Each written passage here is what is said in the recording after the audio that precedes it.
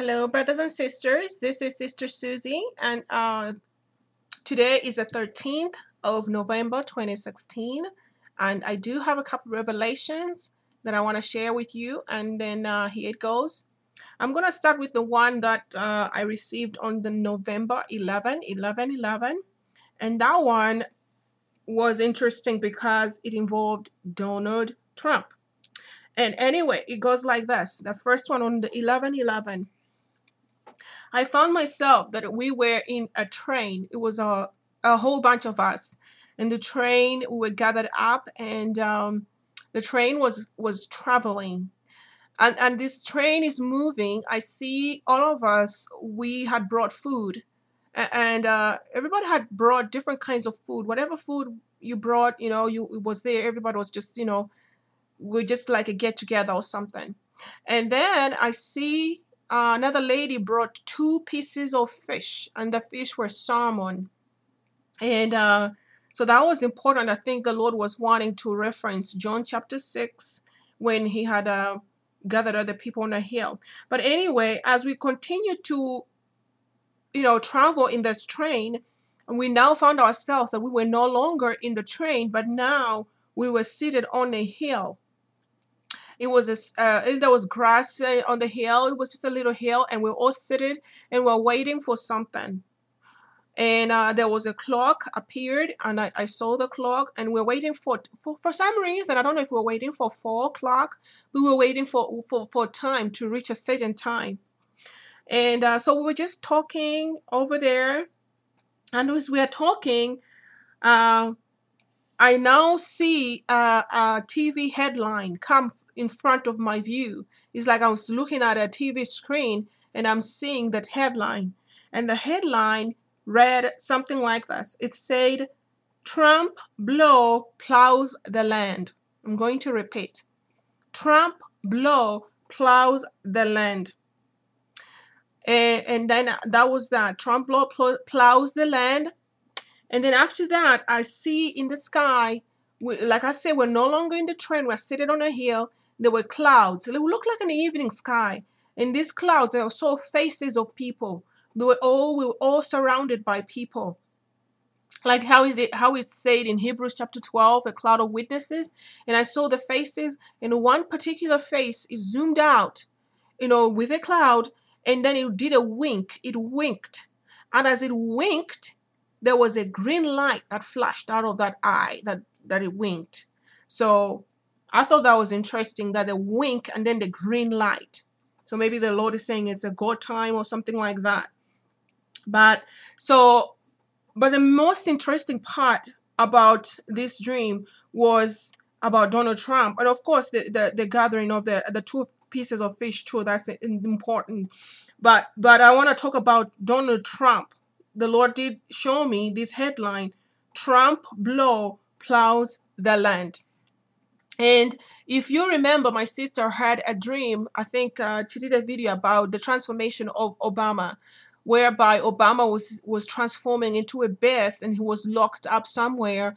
And then don't uh, Michael, there was an emergency with Michael, you know, and uh, people were rushing you know, uh, to uh, to the hospital, something like that. Meanwhile, Obama was being transformed, and we thought that was at that time, we particular time, we had thought that it was uh, Obama, something will happen to Obama, but apparently not. Uh, in this scenario, uh, because the Lord says Trump blow plows the land. It, it does to me. It seems that maybe something will happen to Trump, you know, because uh, maybe Trump or maybe he's talking about to the his win is a blow to the world. I, I don't know. I'm not sure. But whatever is happening, there's something with Trump. And the Lord is saying he's a plowman. He is plowing the land. You know, like a farmer, if you want to plant, uh, you, you just don't scatter your seeds. I mean, they're not going to find that you know moisture soil they're not to find that you have to plow it first to make it you know more you know conducive to the seed. And so, and that's what the Lord probably is doing. He's plowing the land, he's plowing people's hearts, you know, because their heart is hardened, you know, is is is stiff, and he's breaking that that hard ground You know, so he's using Trump to do that. And, and like my sister saw in that, I'm, I'm going back to her dream, that she saw that Michael who in this scenario I think is representing Obama. I mean, not Obama, I'm, I'm sorry, is representing Trump because, um, well, Trump is, is an entertainer, and, and that's who Michael Jackson was. Trump is an entertainer, and also uh, for the fact that his VP's name is uh, Mike Pence. So uh, the Lord is putting Trump and Michael Jackson together. He's symbolically bringing that together. And so, so that's what the Lord said. Trump law plows the land because you know he's working on uh, also the the plowing of the land also is could be the great tribulation too uh, let me go ahead and, and read Amos 9 Amos 9 verse i'm going to start from verse let me start from verse 11 and it says in that day i will restore david's fallen shelter i will repair its broken walls and restore its ruins and we will rebuild it as it used to be so that they may possess the remnant of Edom and all the nations that bear my name, declares the Lord, who will do these things. And then it says, The days are coming, declares the Lord, when the reaper will be overtaken by the plowman. The reaper, the reaper is Jesus Christ, will be overtaken by the plowman, the one who was plowing the hard furrow ground, and the planter by the one trading grapes. So maybe the plowman is is the plowman and the trader trading the man trading grapes maybe they are one and two different. We thought maybe is one person but apparently maybe there's two people plowman and the trader of grapes two different people plowman and trading of grapes. So new wine will drip from the mountains and from the from from all the hills and i will bring my people israel back from exile they will rebuild the ruined cities and live in them. They will plant vineyards and drink their wine. They will make gardens and eat their fruit. I will plant Israel in their own land, never again to be uprooted from the land I have given them. Praise God. So the Lord is saying, you know, that you know, Trump's blow plows the land. So could Donald Trump be the plowman? And then not only is the plowman coming looks like the trader of grapes too. Now the trading of grapes we know that's the you know the great tribulation right there. So we're just right there at the very end of these things being um being happening. We gotta remain in the lord you know stand very very very strong and steady in him. So and then okay i'm gonna go ahead to another dream that i had on um let me see what on the 12th and this one is talking about uh, uh, ice chunks. I mean, I saw huge, huge ice chunks, chunks of ice falling.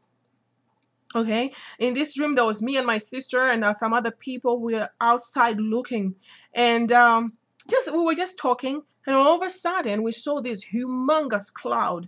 It came over, and this cloud was kind of dark and it was kind of bubbly. For some reason it was uh, for some reason this cloud was kind of bubbly. And it was just moving above the uh, houses. As it began to move i'm looking at this huge cloud with bubbles in it. Uh I see it's the, you know like the storm began to fall and the storm instead of falling just like water like rain or just a little ice it wasn't so. It was humongous huge chunks of ice were falling and these huge um, chunks of ice were falling on people's houses and all their houses were being destroyed with these huge chunks of ice falling to the ground and we began to run and we were praying and repenting. Forgive us, Lord Jesus. All of us we were, pray- we were repenting. All of us were praying. I mean, in this moment, I, I mean, the only thing you can do is repent and pray for the Lord to help. I mean, that's all anybody, we, uh, that's what we were doing. And then, you know, it was so tremendous, you know, that it woke me up, you know, the intensity of this huge stone, I mean, huge eyes falling that it woke me up, but I didn't open my eyes. Uh, my eyes were still closed, and I still it still continued. Now this time around, my eyes are closed and I'm awake. I see fireworks, fireworks. And these were not just now uh, eyes, but I now see fireworks, you know, uh, like it is with um, uh, Independence Day, July 4th fireworks. I began to see those. Now that, that after I saw the fireworks, it, the dream ended or the vision ended. So what did I get from this? What I got, I'm thinking, you know, because fireworks, remember, is um, you know, July 4th is Independence Day. The Lord is saying our deliverance, our Independence Day is coming. When the storm maybe maybe hits, that's when our deliverance will come. Um, let me go ahead and read Revelation 16. I'm not going to read all of it. I'm going to read from verse 16, from verse 19, Revelation 16, verse 19. And then it says, The great city split into three parts, and the cities of the nations collapsed. God remembered Babylon the Great and gave her the cup filled with the wine of the fury of his wrath.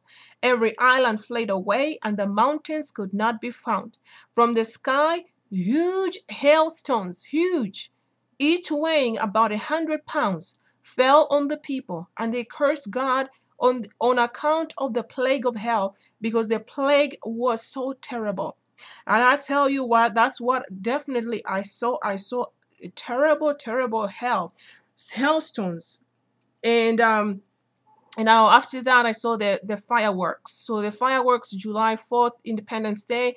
For the people of God, it is coming absolutely it is coming and and we're almost at the end here you know i urge people who do not have jesus christ as their lord and savior to really have him right now this is the moment to really be on the winning side and that's the the, the side of yeshua it's not a time to to to um to be lukewarm. It's not a time to to be sinning. Is it? It's a time to to really give it all. Give all your life. I mean, just surrender everything to your. I mean, your heart, your soul, your mind, you to the Lord.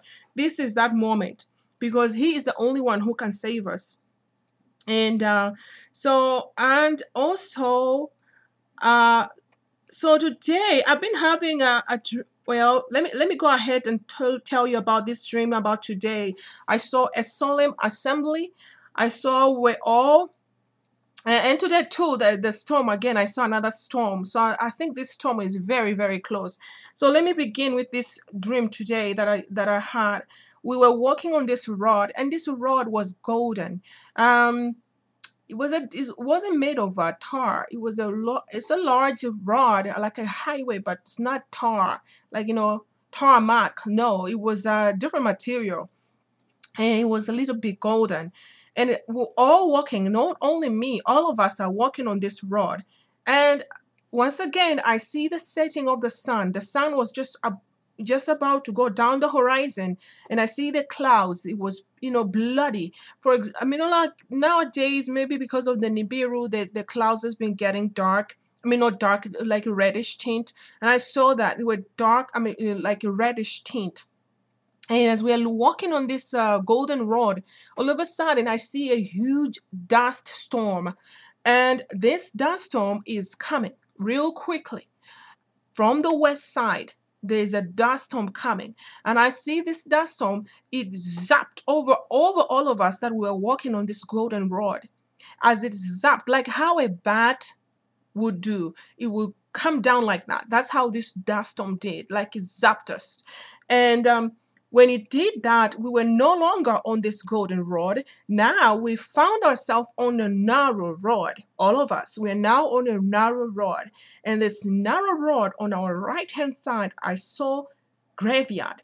Now, the reason why I think the Lord showed me graveyard there is because it's danger, death, you know, because this storm is coming to kill. I I do believe so. It's not it's not a simple thing. This is danger. We're on dangerous ground here and I see a graveyard on our side, and we are walking on the on a narrow road.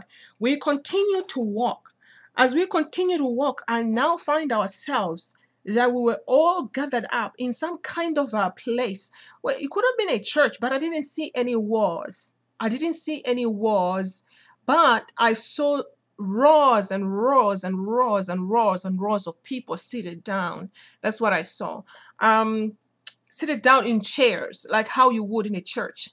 chairs. So there were rows and rows and rows of chairs, and people were seated down. And I was like thinking, maybe it's just a little bit. I kept on looking to see how far, and it was just so many people. So there was a gathering, a solemn assembly, or a gathering of people gathered up. Um, so that's very important because that's what we're waiting on for the Lord to gather us together. And when He does that, then we're gonna be gone. He's He's gonna take us from that. So so that's what I wanted to to talk about to uh, the dreamer that I had today. That you know the solemn assembly, he's we've been gathered up in this place. It's a spiritual church.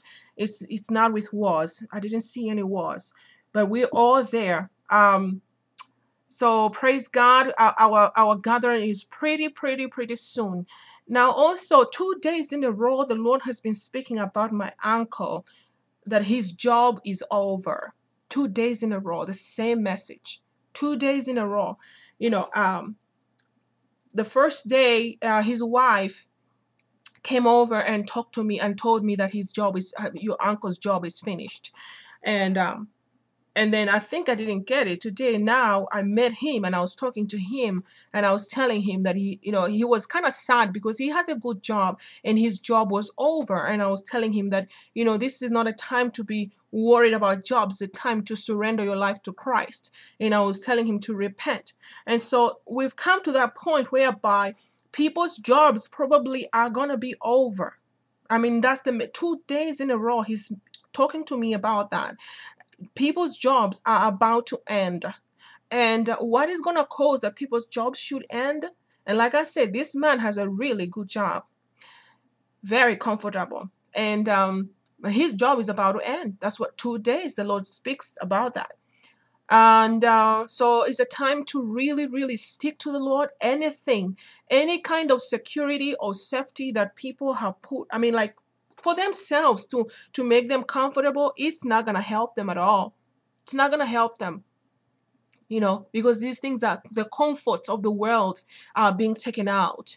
You know, the comforts of the world are being taken out. And right now, we are so close to going home that we have to be really, really prayerful and repent us every single day. We got to repent because we are human. You know, repentance and forgiveness of those that have hurt us. And I will also say again before I close, please, everyone out there, if you're listening right now, things are about to change. There, it's already begun to change with with Trump being in power. It's not ordinary. I mean, I mean, I'm not saying it's not ordinary for him to be in power, no, but but but something is there, there's a deception that is going on that we are we are all yet to see how it's going to unfold, and so we have to be uh, found on a solid ground, a solid ground, because the ground, any other ground apart from Yeshua, Jesus Christ, will sink, will sink. So have Him, Yeshua, in your heart today. Repent of your sins so that you can make it into the kingdom. It's a beautiful kingdom. We were all walking on this road, and it's just, we, we haven't reached there yet, but this road is beautiful. In itself, it's beautiful. In itself. What about if we enter through the gate? How beautiful will the place be? So let us strive to make it to enter the gate of heaven. Okay, so that's all I have today. And uh, I bless you all in Jesus, Jesus' name. And uh, I love you guys. Until next time, this is Sister Susie. Bye bye.